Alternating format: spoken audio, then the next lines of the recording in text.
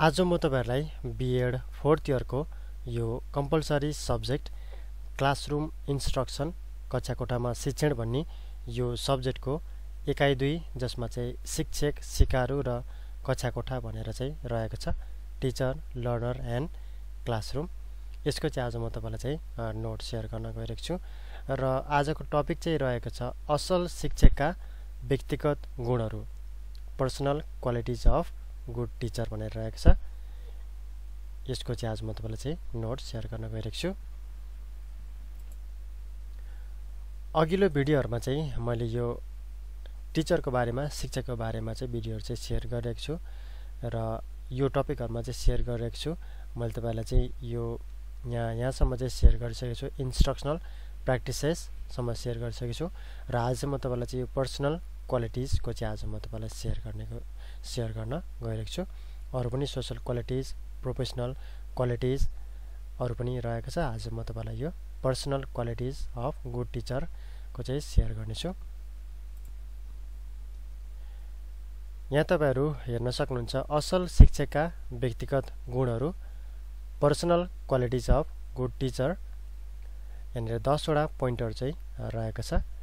एक नम्बरमा आकर्षक व्यक्तित्व राम्रो स्वास्थ्य मिठो आवाज रुचि एवं उत्साह धैर्यता एवं सहनशीलता प्रेम एवं सहानुभूति आत्मविश्वास तथा दृढ शक्ति नैतिकता एवं चरित्र मौलिकता सृजनात्मकता र रचनात्मकता।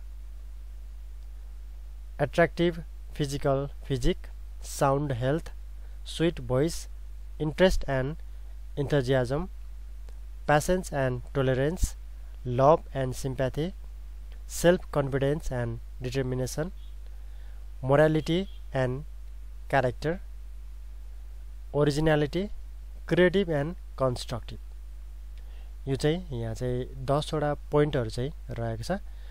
दसवटा चाहिँ यो गुणहरू चाहिँ रहेका छन् जुन चाहिँ असल शिक्षकमा चाहिँ हुनुपर्ने यो दसवटा पोइन्टहरू रहेको छ। यो तपाईँले चाहिँ याद गर्न सक्नुहुन्छ। What are the personal qualities of good teachers भनेर तपाईँलाई चाहिँ सोद्धाखेरि यो कुराहरू तपाईँले चाहिँ याद गर्न सक्नुहुन्छ यो कुराहरू लेख्न सक्नुहुन्छ र यो बाहेकका अरू पनि तपाईँले चाहिँ पाउनुभयो भने त्यो पनि तपाईँले चाहिँ यसमा इन्क्लुड गर्न सक्नुहुन्छ।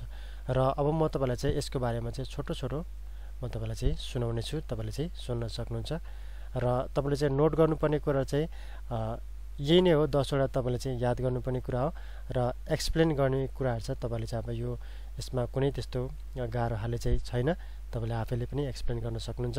म यसलाई तपाईँलाई चाहिँ सुनाउने छु सुन्न सक्नुहुन्छ। सुरुमा चाहिँ रहेको छ थोरै कुराहरू चाहिँ थो थोरै थोरै कुराहरू चाहिँ यसको बारेमा चाहिँ म तपाईँलाई चाहिँ यहाँनिर सुनाउने छु पहिलोमा रहेको छ आकर्षक व्यक्तित्व।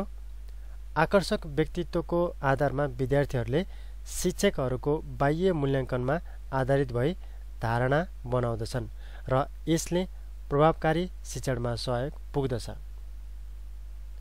दोस्रोमा राम्रो स्वास्थ्य। शिक्षकको अर्को महत्त्वपूर्ण गुण भनेको राम्रो र असल स्वास्थ्य हो। असल स्वास्थ्य भनेको स्वास्थ्य स्वस्थ मस्तिष्क पनि हो जुन प्रभावकारी शिक्षकको शिक्षणको लागि आवश्यक छ। त्यसै गरी मिठो आवाज मिठो सुरिलो एवं स्पष्ट आवाजले विद्यार्थीहरूको ध्यानाकर्षण गर्न सहयोग गर्दछ। चार नम्बरमा रुचि एवं उत्साह। आफ्नो पेसाप्रति रुचि एवं उत्साह छैन भने कक्षा कोठामा शिक्षण बोजिलो हुन जान्छ। साथै साथै उत्साहित शिक्षकले मात्र विद्यार्थीहरूलाई सिकाइप्रति उत्साहित र लगनशील बनाउन सक्दछ। पाँच नम्बरमा रहेको छ धैर्यता एवं सहनशीलता। विद्यालय तथा कक्षाकोठा शिक्षण प्रक्रियामा विभिन्न जटिलताहरू आउन सक्छन्। त्यस्ता जटिलताहरूलाई धैर्यतापूर्वक समाधान गर्न सक्नुपर्दछ। त्यसै गरी प्रेम एवं सहानुभूति। प्रेम एवं सहानुभूति व्यवहारले विद्यार्थीहरूसँग नजिक भई उनीहरूको मनोवैज्ञानिक पक्ष बुझेर प्रभावकारी शिक्षण शिक्षण गर्न सकिन्छ। त्यसै गरी सात नम्बरमा आत्मविश्वास तथा दृढ शक्ति। शिक्षक आफ्नो विषयवस्तुको प्रस्तुतिकरणमा आत्मविश्वासी भएर प्रस्तुत हुनुपर्दछ साथै दृढ इच्छा शक्तिले शिक्षण सम्बन्धी चुनौतीहरू सामना गर्न सहयोग गर्दछ। त्यसै गरी नैतिकता एवं चरित्र आठ नम्बरमा। शिक्षकले सामाजिक मूल्य मान्यतालाई आधार गर्नुपर्दछ र सोही अनुरूपको आचरण गर्नुपर्दछ। शिक्षकमा सत्य इमान्दारिता कर्तव्यपरायणता निष्पक्षता त्याग आदिको गुण हुनु आवश्यक हुन्छ। त्यसै गरी नौ नम्बरमा। मौलिकता। मौलिकको शिक्षकको मौलिक शिक्षण प्रक्रिया हुनुपर्दछ जसले शिक्षकहरूलाई विशिष्टता प्रदान गर्दछ। ओरिजिनालिटी भनेर यो रहेको छ। त्यसै गरी दस नम्बरमा सृजनात्मकता र रचनात्मकता।